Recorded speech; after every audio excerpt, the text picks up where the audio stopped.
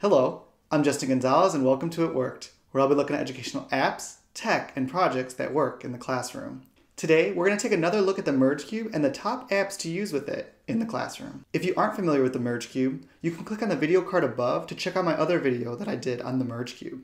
There are several apps already available for the Merge Cube and there's several more on the way. In this video, we'll look at six apps that you can use right now and two that are coming soon. Stay tuned at the end of this video to hear about an opportunity to win a huge giveaway. You don't want to miss it. The first app that we will discuss is 57 Degrees North. 57 Degrees North is available on the Apple App Store or the Google Play Store for $2.99. 57 North takes students on an adventure using the Merge Cube. The app is a create your own adventure story where students make several decisions and there are multiple endings based on their decisions. The graphics are amazing and intriguing for students exploring this app. A sudden flash of lightning revealed a huge stone column jutting out of the rough sea directly ahead.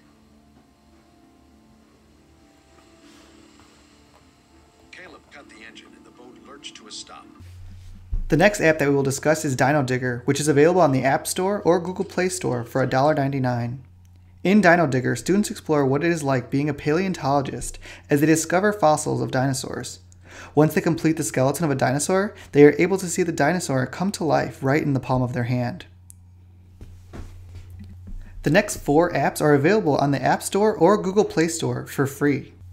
In Galactic Explorer, students are able to explore the solar system in their hands. Students can see as planets orbit around the sun and see the texture and color of each planet.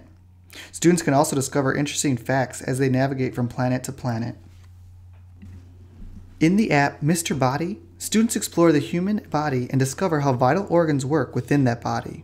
With a few clicks, they are able to get a close up view of each vital organ and its function. Embedded within the app are interesting facts about the organs. The next app is called Things. With this app, there are 16 mini games or activities that students can explore. Students can hold a human heart in their hands and learn about that organ. Students could also set a campfire on their desk and listen to music on the boombox. The next app is called Dig. In the app, students are able to build and dig in a world similar to Minecraft. Students are able to choose from resources like sand, stone, grass, and brick to build whatever their imagination allows. The next two apps are coming soon, but here's a sneak peek at what they can do. In Museum Viewer, students can hold museum artifacts in their hands for a more immersive experience. Students can turn, inspect, and even place the object within their own world. With Object Viewer, students can view their own 3D creations in their own hands. Students can use a 3D creation tool and then upload the file to the Miniverse to then have access to it in their hands.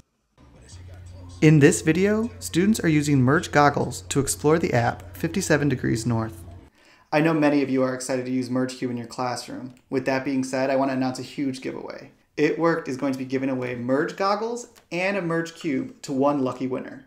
In addition to the Merge Goggles and the Merge Cube, the winner will also receive free codes for the apps Dino Digger and 57 Degrees North. In order to qualify for a chance to win, you need to subscribe to the channel, like this video, and comment below on what's your favorite app to use with the Merge Cube.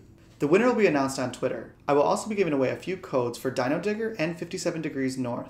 Make sure to follow at ItWorkedTech on Twitter to see if you're one of those winners. Thanks for watching.